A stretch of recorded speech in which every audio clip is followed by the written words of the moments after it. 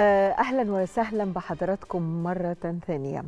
ولأن تعداد مصر الكبير الكتلة اللي موجودة فيه العمرية والسنية هي للشباب. فأنت بتتكلم على نسبة كبيرة جدا من التعداد من الشباب. وده بالنسبة للدول دي حاجة رائعة إن تكون الدولة أو الوطن شاب يعني فيه من الشباب.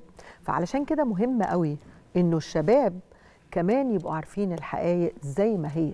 ويبقى عندنا الفرصة الأجيال الصغيرة إنه يعرفوا الحقائق بالظبط زي ما قال السيد الرئيس النهاردة لما أعلن عن إقامة معرض. والمعرض ده للحرب على الإرهاب في سيناء.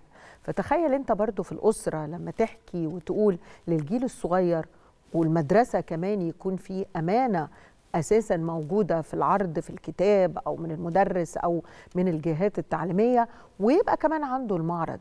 هنا هيكون المعرض فيه صور أسماء الإرهابيين والأدوات اللي تم استخدامها والأسلحة والذخائر وأجهزة الاتصال.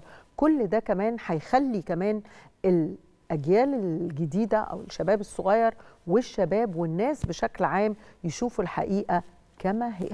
تعالوا نعود ونستمع لجزء من كلمة السيد الرئيس. بالمناسبة إحنا هنعمل مش بس الاحتفالية إحنا هنعمل معرض للحرب ديت. هنعمل معرض للحرب ديت. هنوريكم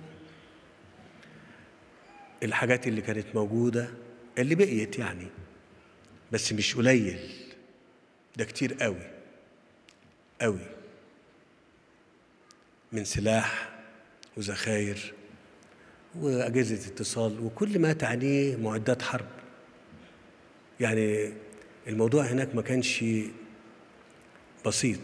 الناس متعودة أنها تشوف الحرب اللي هي اللي يعني يصوروا دبابات وطيارات بتضرب وبتاع زي الحروب التقليدية يعني.